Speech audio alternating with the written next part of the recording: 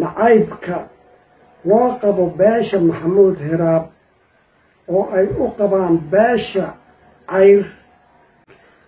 Nimankii aan islahayn qaraabaad tihiin ama iskubahaad tihiin ama yacni maxaad isaga dhow yihiin hawiyaha kale ayaa nagu sameeyey waxaa samaynaya ragga iyo gabdhaha hortiina ka muuqda waxa ay ka mid yihiin baarlamaanka soomaaliya baarlamaanka waxa ay ku metelaan bulsho iyo deegaan la yidhaa dooxo iyo maxamuud hiraab ama duduble dadkii metelaadda ka sugayey waxaa haysata dhibaato dhowr nooc ah.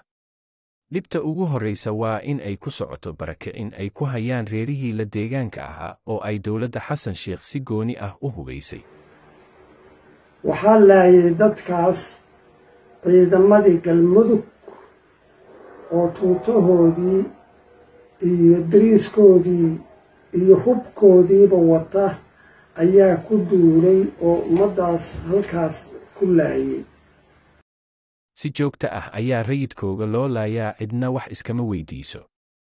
Dhacdadii ugu dambaysay waxa ay dhacday maalmo ka hor markii ciidamo ka tirsan dowlad goboleedka galmudug kuna abtirsada beesha cayr habaraji oo ka duulay guriceel ay rag tobaneeyo gaaraya oo xoolo dhaqato ah ku laayeen meeshii ay degganaayeen cidna waxba iskama weydiin haba yaraateen haddii shaatigood dowladeed la gashto ee galmuduga asagoo taay wataan gashana aniga runtaan kuu sheegaa nin aan gashan karin taay ma jiro. Waxa waaye haddii maamulka galmudug aniga runtaan u sheegaya madaxweyne qorqor iyo guddoomiyaha gobolka haddii arrintaas ka qaban waaye maamulka haddii shaati dowladeed tuutaa la gashto asagoo taay wadaan gashana anigana.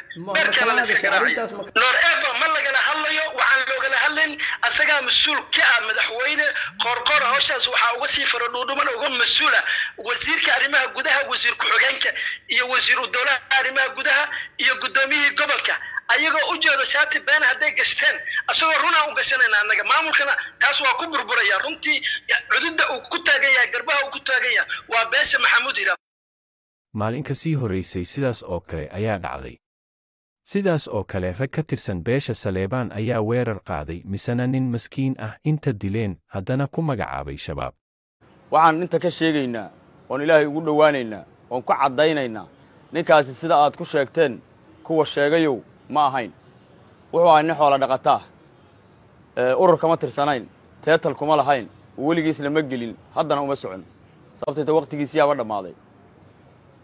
Ninkii dilay iyo nimanka soo hadlayna way kala daran yihiin.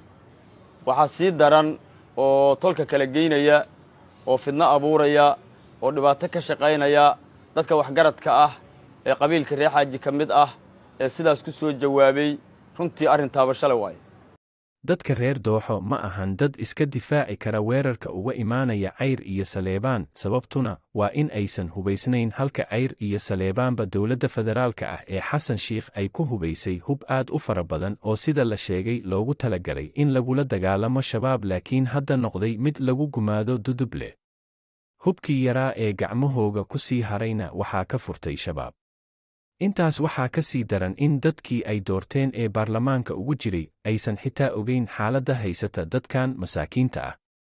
Odayaashii ayaa meel walba ka qaylinaya oo leh warlaysmada iyo hubkaan cadowga loogu talagalay naga daaya laakiin qayladooda waxba kama soo naasacadaadaan maadaama dadkii dowladda ugu jiray oo la rabay in ay dadkan matelaan ay ka dhaga furaystaan cayrow adukoo cayrnimo ku hadlayo walaalnimo ku hadlayo waaridnimo ku hadlaya inaad xaqdaradaas aad ka hortagtiin.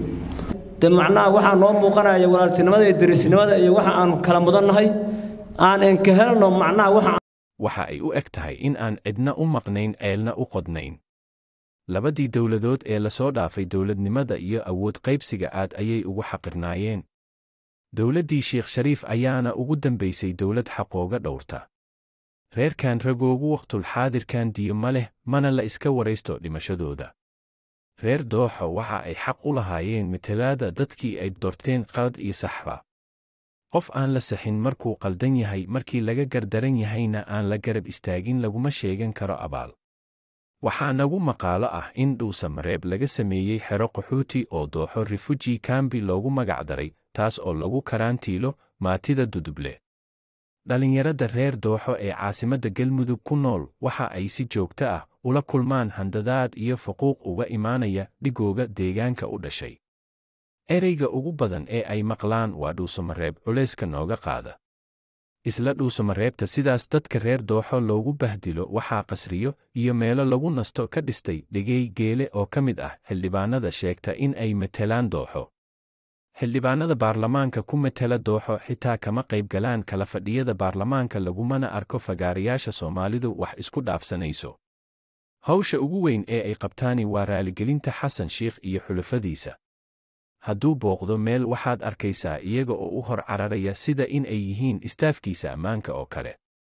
Dadkii iyo deegaankii laga soo doortay waxa ay u baahan yihiin hor u marin dhan walba ah dhaqaale waxbarasho iyo wacyigelinba laakiin dadkii ay doorteen shaqo kale ayay hayaan. Xildhibaanadan haddaad weyddiiso sababta aysan bulshada aysan wax ugu qaban oo dadkoogu wax matelaad ah uga helin doodooda koowaad waxa ay ka dhigaan in dadka ay matelaan ee reer dooxo dowladnimada ka dheeraadeen.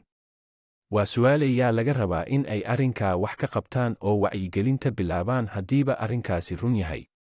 Intaas kadib waxaan rabaa in aan su'aal weyddiiyo dhallinyarada iyo waxgaradka duduble yaa idiin maqan oo aad sugaysaan. Ilaa goorma ayaadse sii daawan doontaan dhibaatada idinku socota kuma lihi kac oo dagaal laakiin waxaan ku leeyahay dadkaaga u istaag